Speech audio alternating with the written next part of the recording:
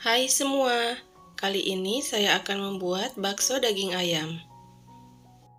Untuk bahannya, di sini saya pakai 500 gram daging ayam yang sudah dicincang dan sudah dimasukkan ke dalam freezer menjadi setengah beku supaya saat dicoper daging ayamnya cepat halus. 1 sendok teh lada bubuk, 2 sendok teh garam, 1 sendok makan kaldu bubuk rasa ayam, 5 siung bawang putih yang sudah digoreng, 3 siung bawang merah yang sudah digoreng, 1 butir putih telur, 8 sendok makan tepung tapioka atau tepung kanji, setengah sendok teh baking powder, 1 sendok makan munjung tepung pengenyal baso, 1 sendok makan munjung tepung perenyah baso, dan 150 ml air es atau bisa juga 150 gram es batu. Selanjutnya, masukkan daging ayam ke dalam chopper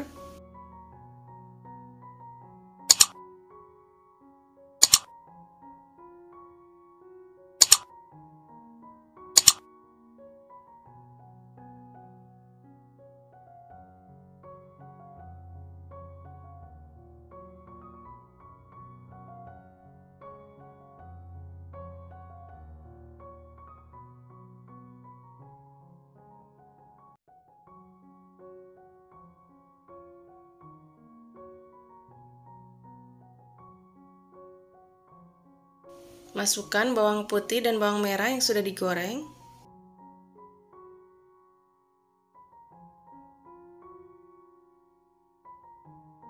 Masukkan lada, garam, dan kaldu bubuknya.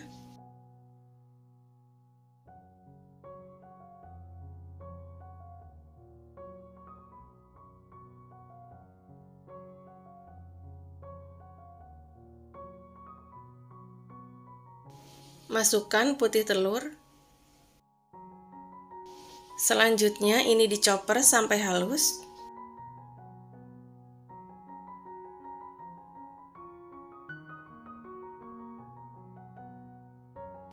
Kemudian masukkan air esnya secara bertahap. Ini saya masukkan setengahnya saja. Lanjut dicoper kembali supaya daging ayamnya lebih halus.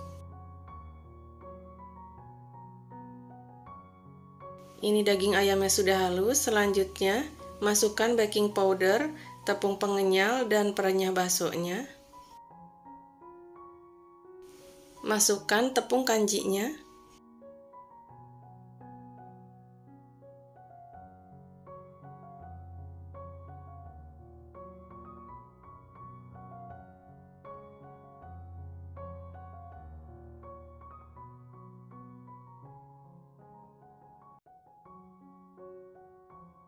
Kemudian ini tepungnya akan saya aduk-aduk sebentar supaya saat dicoper nanti tepungnya tidak nempel di tutup choppernya.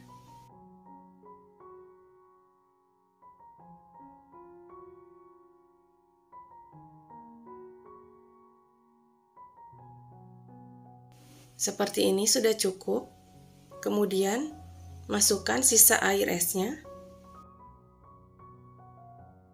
Lanjut dicoper kembali sampai tercampur merata.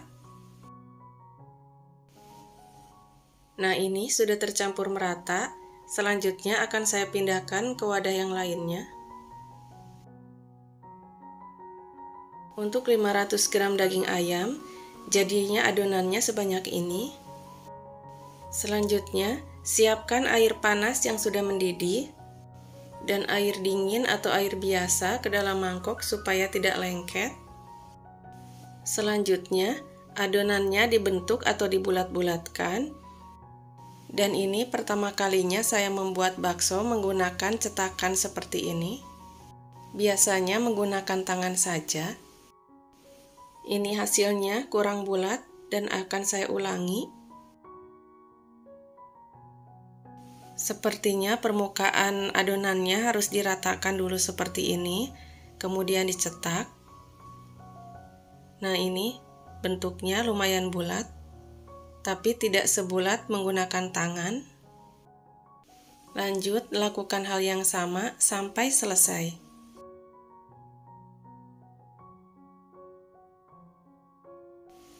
Nah, ini adonan baksonya sudah selesai dibentuk semua. Dan baksonya juga sudah mengapung. Lanjut, ini akan saya masak kembali hingga airnya mendidih.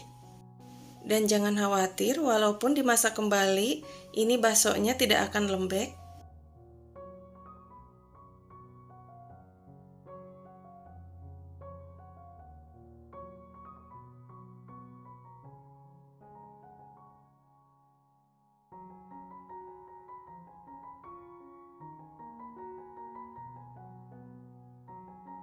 Jika airnya sudah mendidih kembali dan dirasa baksonya sudah matang, silakan diangkat dan ditiriskan.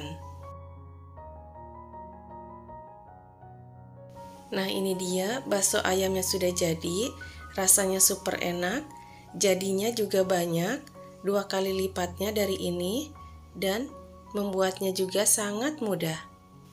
Selamat mencoba! Jika suka videonya, Silahkan di like, share, dan subscribe. Terima kasih sudah menonton. Sampai jumpa di video selanjutnya.